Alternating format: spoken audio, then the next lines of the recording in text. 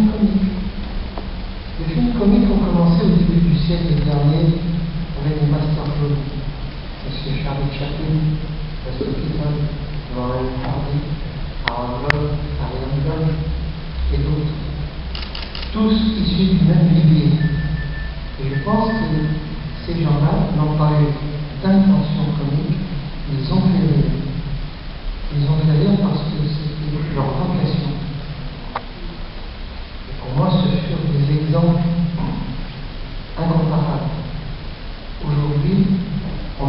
beaucoup voir leurs films en France, en tout cas. On peut plus les voir regarder en disparu de la circulation. Aaron Paul, Buster Keaton aussi, et Charlie Chaplin une fois de temps en temps.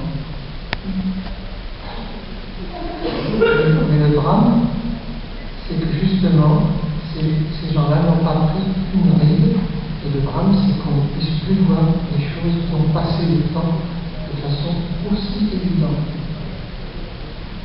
Souhait cher, c'est qu'on puisse les revoir encore et encore, comme on va dans un musée, voir les œuvres des plus grands peintres du monde, et qui font que la peinture a évolué.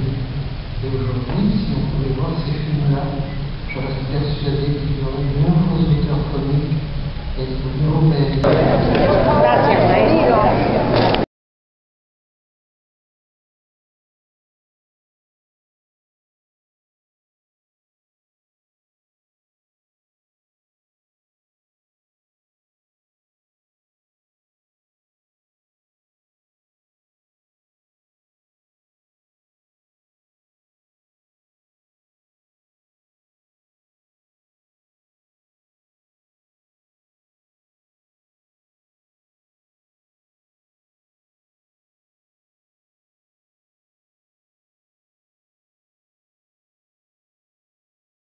hi